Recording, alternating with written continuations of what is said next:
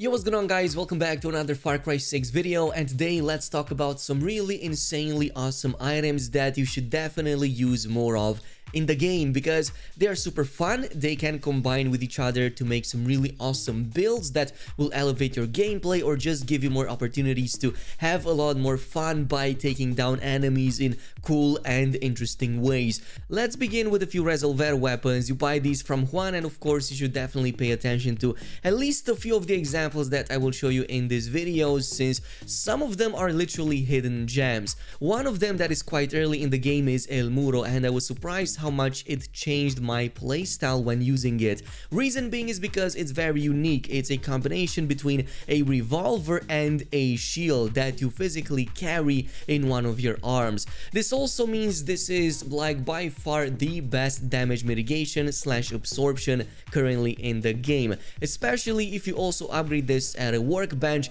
to further improve that shield even more, which means you can go against a group of enemies pull up the shield and literally face tank anything because there's no damage that will be done onto you. At the very least, not that I've noticed. Now, obviously, there are some downsides to this. If you hold up that shield, your movement is going to be impaired, which means enemies might be able to flank you a little bit better or even go behind you, and you're still susceptible to damage coming from grenades and other explosives. But there are a couple of items that I fully recommend if you're going with this and kind of transform it into a build.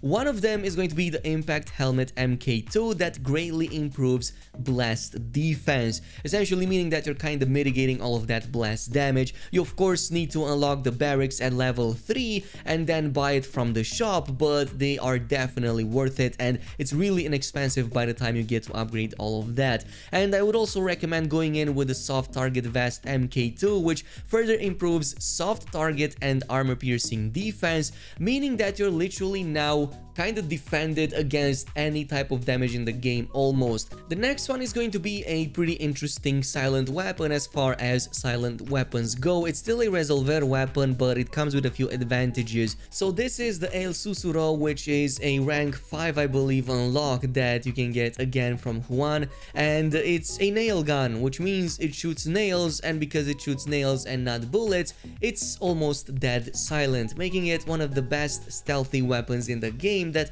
you can get without spending too much resources outside of the 100 depleted uranium you need to purchase it with. But otherwise, it has some other advantages. One of them is the fact that if you shoot targets in the head, no matter if they have helmets or not, if they're armored or not, this will fully penetrate that, almost acting like armor-piercing rounds. Not as powerful though, but still very good. Second of all, you also get a very large magazine of 70 which can be further upgraded to 80. Not that it is needed, I believe the magazine size is big enough, so since we were trying to avoid using any, you know, materials to upgrade stuff, I think that you should just leave it by default and just run with it as it is because it's still very powerful. You can play both as a sneaky like sniper and just snipe enemies one shot at a time or just completely impale them with a ton of nails until they drop down and don't move anymore. And there's a few items in there that could work really well with this, especially that really strange set that you get from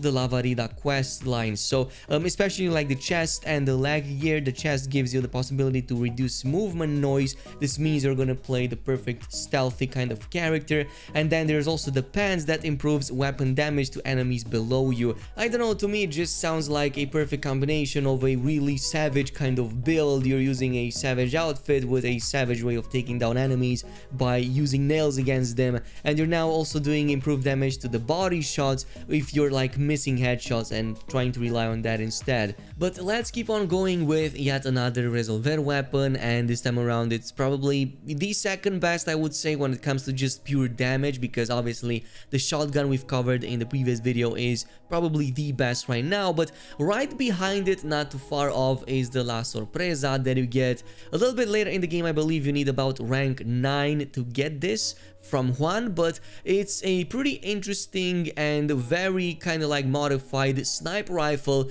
to now kind of put sticky explosive targets onto enemies. So for example, if you shoot an enemy with this thing, by default, you instantly kill them or down them in case they are medics.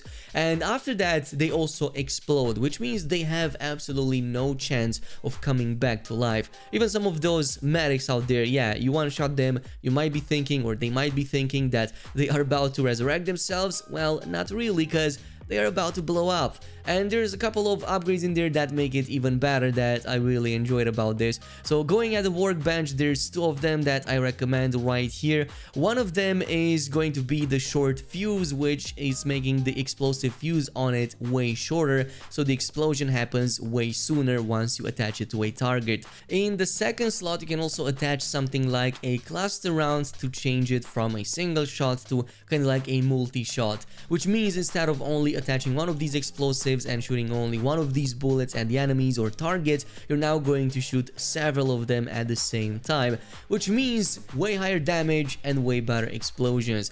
But the best upgrade for your Supremo to take full advantage of this sniper rifle is going to be the Blast Sniper Pocket, improve the La Sorpresa ammo reserve, which essentially means it's going to increase from just 10 as it is by default to 15, giving you quite a bit more in there to carry in a little bit longer and taking down a lot more targets. It's probably not gonna be something that you're gonna be able to spam, but like a last ditch effort, it is definitely useful. And this also brings us to the final item set on the list, or should I say build kinda, but not really because you're literally only going to be using mainly one single item to make this work. And that's going to be the really awesome prisoner's scarf that you can also unlock at the banditos barracks if you upgraded that all the way up to max level 3 the reason is because it enables takedowns on alerted enemies from the front, essentially turning the possibility for you to one-shot everybody with your machete. So this is how it's playing out by the way, there's a few like gameplay sequences over here that I was able to record, but it's so much fun to play with this. If you install a few mods or if you get some gear that gives you more speed as you're sliding or more speed as you're killing targets, this is going to be like the perfect build to go in and one-shot literally any target. There's other really great advantages, one of them is the fact that if you're doing a chain assassination link, it's going to kinda give you almost invulnerability to enemy damage, which means you can literally stay alive with 1% HP. Also, for some reason, since the AI in Far Cry is kinda dumb, most of the enemies when you approach them are not going to do too much, so you can literally just get them out and kill them because they are literally just sitting ducks. Now, there are still a few items that could make this build even more amazing. One such item item is going to be the Dark Tech hoodie that you can get by simply upgrading your barracks to level 2 and it comes with a special perk called Chameleon. It slows down detection speed without affecting soldiers' suspicion so you're essentially going in and like silently killing everybody without raising that much attention from enemies. They will take a lot longer to detect you in the first place which means you can approach them way easier. It's definitely super fun to play with this one so I definitely recommend playing a build just centered around around melee. But this is it with the builds slash items for today. Totally let me know down below in the comments which one of these were your favorite and are there other types of builds or items that I didn't cover in this video. As always, a thumbs up on the video would be super appreciated. Also subscribe if you really liked it and I will see you guys in the next one.